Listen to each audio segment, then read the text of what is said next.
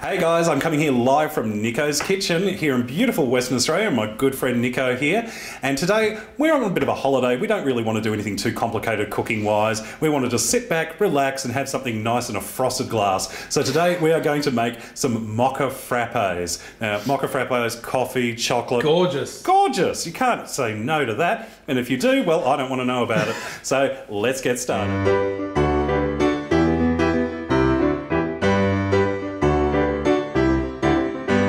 Anyone who's been watching the One Pot Chef show over the years knows I have a very soft spot for coffee. So my dear friend Nicko here is going to help me make a mocha frappe. I thought you were going to say you had a soft spot for me. Well, I did once, but then you woke up. That's and I rolled over. okay. Right, get That's back, to, get back a- to work, intern. That's another video. All right, so so mocha frappe. Mocha Uh, what we've already done is gone to the coffee machine and we've got some just some normal black coffee. We haven't put any sugar in it, haven't put any milk in it or anything like that. It's just normal coffee. You can do this with the instant stuff as well. It'll, it'll work fine. And if you're not interested in coffee, if you don't like coffee, feel free to replace this with some hot chocolate that's been cooled down, or even just some chocolate milk Yeah. or Milo. It'll Milo work. works too. Mm. If you're in Australia, do they have? Hey, I did- do they have Milo outside of I Australia? think they do. Nesquik. That'll do. Nesquik, there you go. That'll work. Not a product placement. anyway, I'm putting this into the blender, and again, you don't have to use this type of blender. You can use any blender at all. Yep.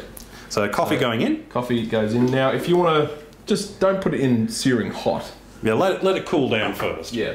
Okay. Otherwise, so, you'll melt your blender. so we've got our coffee, and then we've got our chocolate syrup, which is a bought chocolate syrup, Putting in about a quarter of a cup. Mhm. and for some more sweetness, we've got some agave syrup. Do you want to explain a bit of agave? Now they could use honey, but You can use honey. Agave is sort of a natural sweetness, which actually comes from cactus. Hmm. But if you can't get it, honey will be perfectly acceptable. yeah. And we're also going to pop in some milk, mm-hmm. and we're using skim milk. But if you wanted to use the full, fat, fat. stuff, go for it. And Just to make this really nice and frothy, we're going to put in some lovely ice cubes. Give it sort of that nice sort of chill, sort of crystally sort of sensation when you're drinking it. I love that flavour, that, that texture when you're drinking it. I love Yeah. that. I'm going to actually pop in a few more because I want this sort of nice and thick. Really, really sort of chunky, yeah. Yeah. And we want the blender to do its work. Yeah, exactly. Get, get it, give it a good workout. Too lazy. All right, so we're going to pop the lid on and we're going to hit start. Look at the colour. Hell yeah. Mm. Oh, that smell. The smell, that's the first thing that hits you, is the coffee ah. smell. That's awesome. That smells sexy. All right, so we're going to pour this into our cups. You, I mean, I think your audience and my audience knows that we don't stop here, do we? No. I mean, that's cool, but that's that's just sort of a bit boring. That's a bit boring. I, Yeah. I, I think we could go to the next level. Okay, okay. I've got some whipped cream.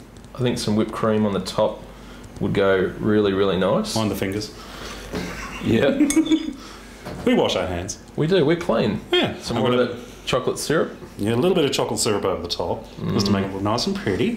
Bit chefy. Mm-hmm. And just to really sort of give this a bit of extra, we're going to shave a little bit of dark chocolate over the top. Oh man. Now that looks awesome. How- How's your diet doing, Nicko? I think. Is your willpower still up and going? No, I've lost it. And that is our mocha frappe. And I don't know about you, but I am ready to dig into this one. So, There goes the diet. yeah.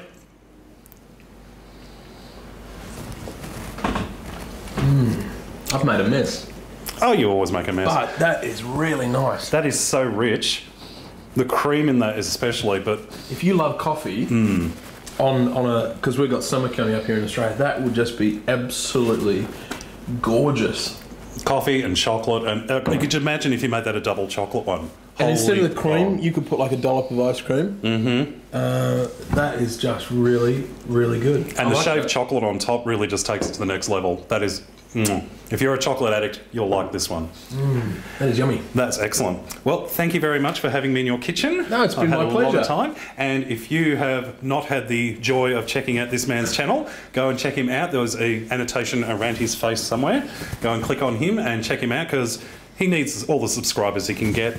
Poor little thing. He's, he's, he's, he's virtually unknown on YouTube. I mean, the poor little fella. I know, it's so tough. Go, go, go support a starving YouTuber. All right, guys, we're going to go drinking a drinking a frappe. drinking our frappes. Honestly, it's not easy. It's not easy, this life. So we're, we're going to sort of go and have our frappes and try and deal with having only two limos. All right, have a great time, guys. See you guys, take care.